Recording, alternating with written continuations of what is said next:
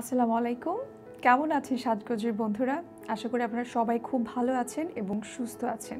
আজ উনত্রিশে September world heart day.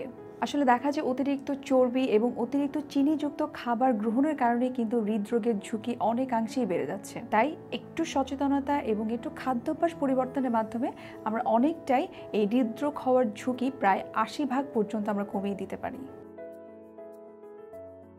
World heart day দিনটি বেসিক্যালি পালন করা হয় হার্টকে সুস্থ এবং কার্ডিওভাস্কুলার ডিজিজ সম্পর্কে সবাইকে সচেতন করার জন্য। সচেতনতা শুরু করতে হবে আপনার রান্নাঘর থেকে, আপনার খাবার টেবিল থেকে। একটা কথা সবসময় মনে রাখতে হবে you are what you eat সুতরাং সুস্থ থাকার জন্য এবং আপনার হার্টকে সুস্থ রাখার জন্য অবশ্যই সুষম খাবার খেতে হবে এবং জানতে হবে কি কি ধরনের খাবার আপনার খাওয়া উচিত। আপনার সারাদিনের খাবার তালিকায় চেষ্টা করতে হবে যাতে প্রচুর কালারফুল শাকসবজি থাকে, বিভিন্ন সিজনাল ফ্রুটস থাকতে পারে।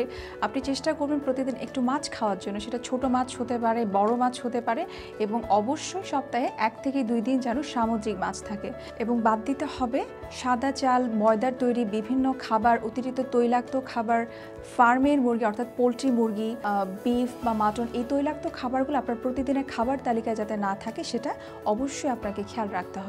আর চিনি কতটুকু খাবেন?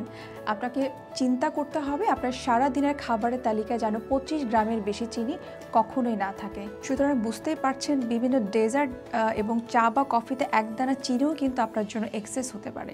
তাই বলে কি চিনি না খেয়ে আমরা বেঁচে থাকতে পারব? অনেকটাই কিন্তু কঠিন হয়ে যাবে। অনেকেই আসলে খুব ডেজার্ট খেতে পছন্দ করে, কিন্তু চিনির কথা চিন্তা করে হয়তোবা তার খাওয়া একদমই হচ্ছে না।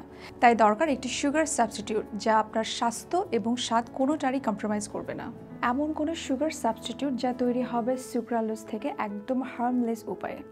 সুক্রালোজের টেস্ট অনেকটা চিনির মতোই, কিন্তু এখান থেকে কোনো বাড়তি ক্যালোরি পাওয়া যায় না এবং এটি একেবারেই পার্শ্ব প্রতিক্রিয়াহীন।